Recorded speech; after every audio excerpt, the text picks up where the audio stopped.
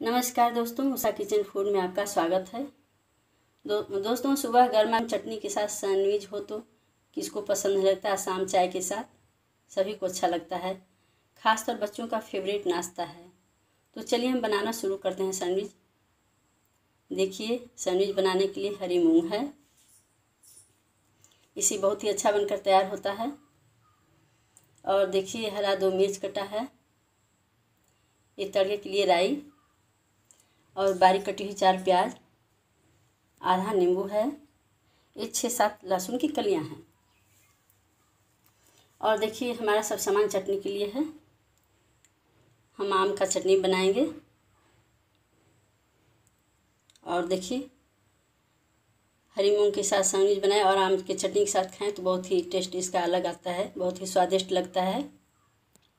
एक बार बनाकर आप ट्राई करें और हमें कमेंट करके बताएँ। तो चलिए दोस्तों हम, देखिए सैंडविच के लिए सब सामग्री है।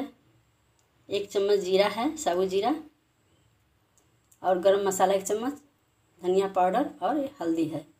देखिए हम गैस जलाकर कढ़ाई रख लिए हैं। कढ़ाई हमारी गर्म हो चुकी है, उसमें हम तेल डालेंगे। जब तेल हमारा गर्म हो जाएगा, तब तो उसमें हम एक चम्मच जीरा डाल देते हैं। इसके बाद राई, जब राई हमारा अच्छे से तड़क जाएगी तो इसमें हम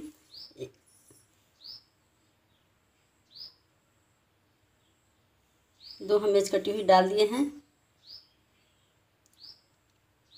अब इसमें हम अपना प्याज ले लेते हैं।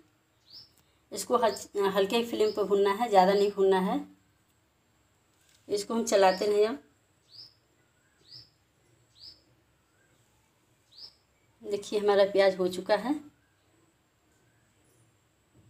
अब इसमें हम अपना मूंग ले लेते हैं, डाल देते हैं इसमें।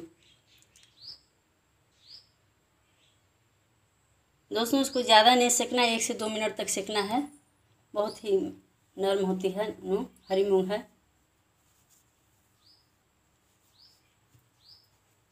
अब देखिए, हमारा मूंग हो चुका है।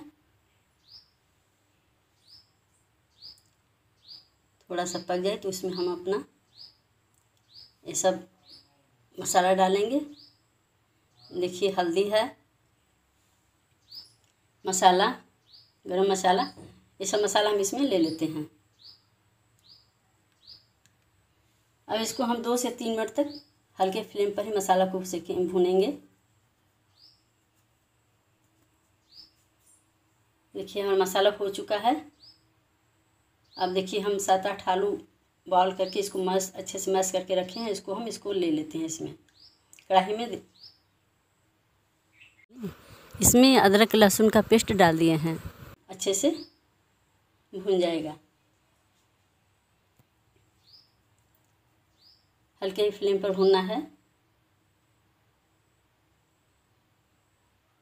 अब देखिए इसमें हम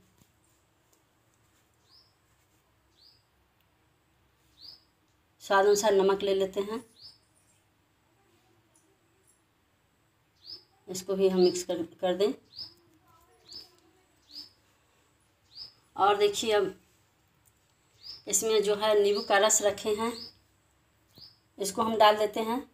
इसे सैंडविच का स्वाद बहुत ही अच्छा होता है। आपके पास नींबू ना तो चाट मसाला भी ले सकते हैं। अब हमारा देखिए हो गया, इसको हम फ्लेम ऑफ़ करके रख कर दे, रख देते हैं। देखिए, चटनी अपना हम तैयार करेंगे। इसमें हम तीन से चार चम्मच नारियल पाउडर ले लेते हैं। इससे चटनी का स्वाद बहुत ही टेस्ट अच्छा आता है। अब चटनी को अपना तैयार कर लेते हैं। देखिए, अब हम ब्रेड का एक पार्ट लिए हैं। वही चटनी इस पर हम थोड़ा सा लगाएँगे। अब इसके बाद देखिए, हम जो आलू का पेस्ट तैयार किए हैं, इसको हम अच्छे से ऊपर फैला दिए हैं फैला लेना है। और एक ब्रेड का एक पार्ट लेंगे इस पर मीठी चटनी लगाएँ। मीठी चटनी लगाएँ या सॉस लगाएँ। इसको अच्छे से चारों तरफ़ लगा लें अब इसी को उस, उस पर चिपका देंगे। अब देखिए सैंडविच वाला कुक करने वाला बर्तन है। अब इस पर हम अच्छे से ऑयल लगाएँगे। देखिए चारों तरफ़ हम इस पर ऑयल लगा दें। इसी पर रखकर इसको हम पैक करके